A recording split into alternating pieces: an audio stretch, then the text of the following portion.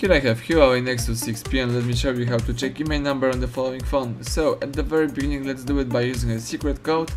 Let's open the phone's dialer by using a call button in that corner.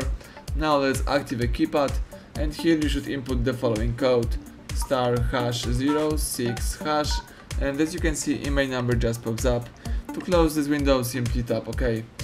Now let me go back to the home screen, let's tap apps icon, find and select settings now you have to scroll down,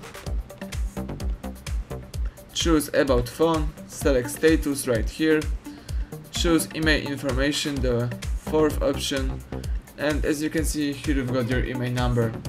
Excellent. Now let me show you the third method.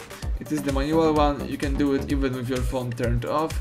So all you have to do is find a tray on the left edge of the phone right here and simply use some thumber tag or special eject tool to open this tray and to remove it from your device.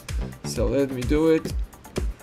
As you can see now I can remove the whole thing and here you should have uh, information about your IMEI number right here.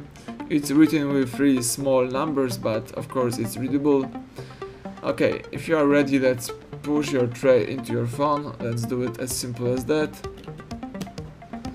And let's use your power key. As you can see you can use your device right now.